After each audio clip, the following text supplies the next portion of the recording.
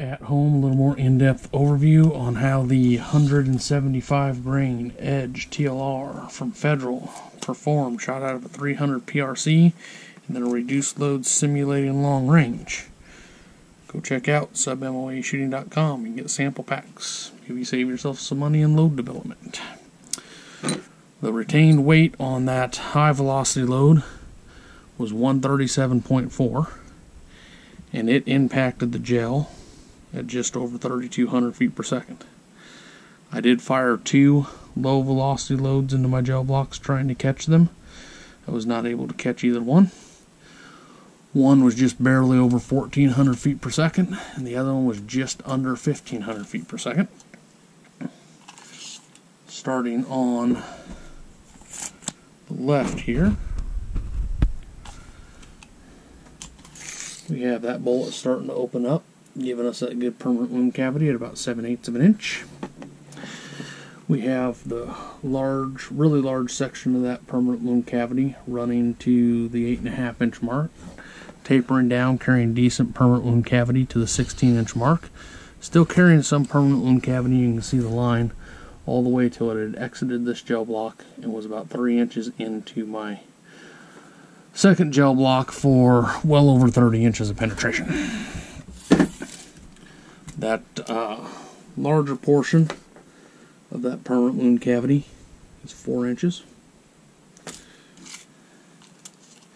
And then on my low velocity round, you have that bullet starting to open up about inch and a quarter to an inch and three eighths you're carrying good permanent wound cavity to just past the uh, 16 inch mark. Then you're exiting the gel block at 22 and 3 eighths.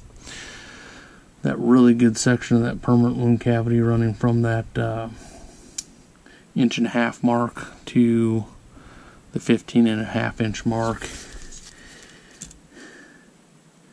At its largest portion, is two and three eighths. But average, looks like it's averaging a pretty good two inch permanent wound cavity through there. So overall, you know, excellent performing bullets as far as they do dump energy and do damage.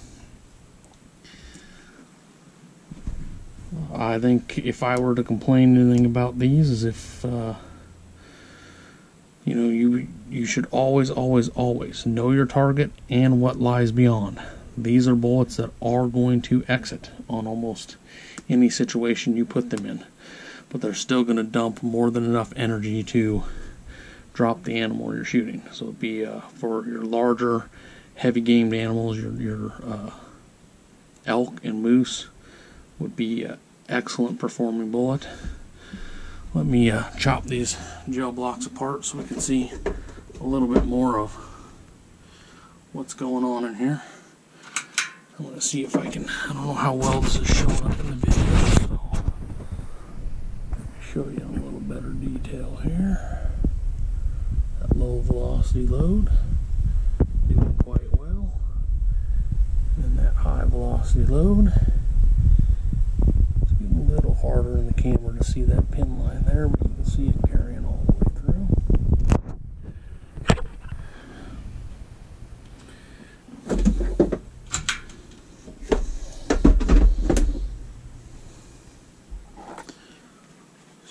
So come about right in the middle of that good portion of that permanent wound cavity on that high velocity load.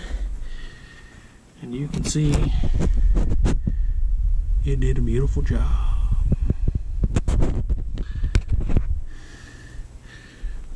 Here on this low velocity load, you should be able to see the difference in the two, and we can. Here's my one I was measuring off of, and there's my other one behind it.